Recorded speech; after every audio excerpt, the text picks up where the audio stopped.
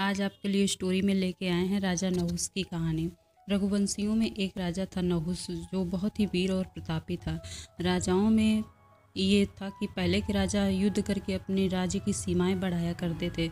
नहुस राजा ने भी युद्ध करके अपनी राज्य की सीमाएँ खूब बढ़ाई। किसी राजा में इतना समर्थ नहीं था कि वो नहुस का सामना कर सके।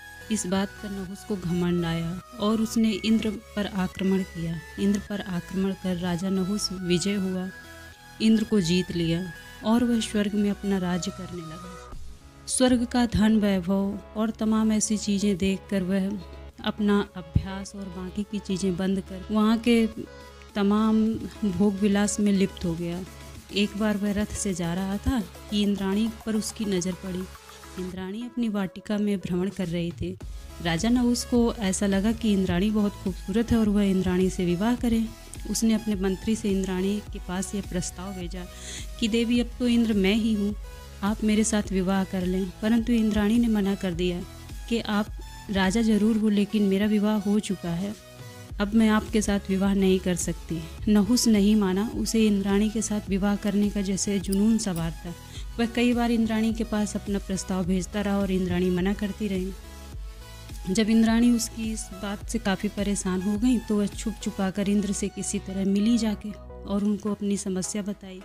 इंद्र ने कहा, देवी, इस बार जब राजा नहुस अपना विवाह का प्रस्ताव भेजे तो आप उसे स्वीकार कर लेना और उसे एक शर्त रखना कि यदि आप सत्य ऋषियों के द्वारा पालकी पर चढ़ के आएँगे, जिससे सत्य ऋषि उठा उठा कर लाएँगे तो हम ज़रूर आपके साथ विवाह करेंगे। नहुस तैयार हो गया। वह बड़ा खुश भी हुआ। वो स्वर्ग का राजा था। उसने तुरंत ऋषियों को आदेश दिया कि कल इंद्राणी के महल चलना है, सुबह ही आ जाना। सत्य ऋषि पहुँचे। सत्य ऋषियों ने पालकी उठाई। राजा नहुस उस पालकी पे बैठा। उसमें से एक ऋषि थोड़ा बुज़ुर्ग थे, जो धीरे धीरे चल रहे थे। नहुस को गुस्सा आया। उन्होंने उसे जल्दी चलने को कहा, परंतु ऋषि ने उनकी बात नहीं सुनी तो नहुस ने ऋषि को एक लात मार दी। लात मारते ही ऋषि को क्रोध आया और उन्होंने पालकी रख दी। नहुस नीचे उतरा और फिर से वार्तालाप शुरू किया।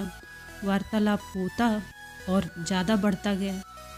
इस बात पर पालकी से उतर कर वह ऋषियों से वार्तालाप करने लगा। वार्तालाप ज़्यादा बढ़ी और ऋषियों ने नहुस को श्राप दे दिया कि तू स्वर्ग में रहने के लायक नहीं।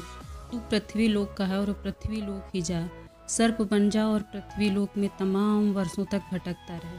इस तरह राजा नहुस को सत्य ऋषियों ने श्राप दे दिया।